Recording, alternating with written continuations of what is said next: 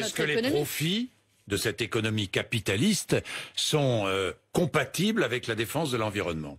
Dans la mesure où ces profits sont encadrés. Parce que qu'est-ce qui se passe à la recherche Non. Encadrés Non, comment? Mais regardez, qu'est-ce qui se passe à la recherche du profit Si ces profits sont Non, réinvestis laisse- dans la défense de l'environnement. C'est avec la recherche du profit à tout prix. On investit toujours plus pour produire davantage. Donc on détruit davantage notre planète. On produit des choses dont on n'a pas, pas besoin. On, on vous fait acheter un smartphone, un, un nouveau smartphone tous les deux ans. Est-ce qu'on a Hmm. besoin d'acheter un nouveau smartphone tous les deux ans?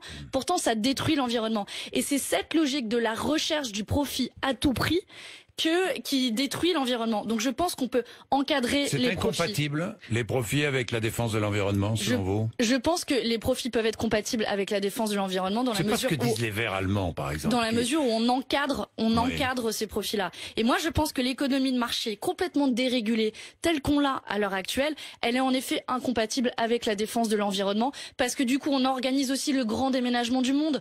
On organise, on fait venir des produits de l'autre bout de la planète. Je vous parlais de la Nouvelle-Zélande tout à l'heure. Mm. L'Union européenne est en train de signer un accord de libre-échange avec la Nouvelle-Zélande. Mais quel sens y a-t-il à faire venir du lait Nouvelle-Zélande, du lait, on en a qui est produit ici en France